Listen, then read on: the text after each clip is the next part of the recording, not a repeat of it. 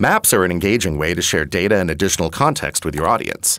But if you're often on a deadline and new to Maps, it can seem a little daunting. But it's actually pretty easy. There's no programming required. You can get started at google.com slash mymaps. Or go to Google Drive, click the New button, and find the My Maps app in the menu under More. This takes you to the My Maps editor. Let's say you're writing an article on the world's 20 best cycling cities, and you have data from a spreadsheet that you want to visualize in a map. Go to the My Maps editor window and hit Import. Then select the spreadsheet.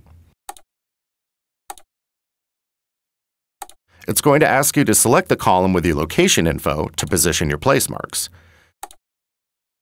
Then you have to choose a column that will title your place marks, which will be under the bold text at the top of the info window when you click a place mark. Let's choose an icon to replace the red pins. Go back to the My Maps editor and under All Items, click More Icons. Here you can choose from an existing library or add your own. This one's perfect. Let's also choose a base map style. In the editor window, you can choose from nine different styles. Finally, to embed this map, click the Share link, don't forget to title it, and make your map public.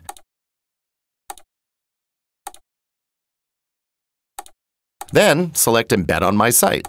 You'll get a window with the HTML code, which you can then paste into your source code. In the code, you can dial in the right height and width for your site. Start mapping today at google.com/mymaps.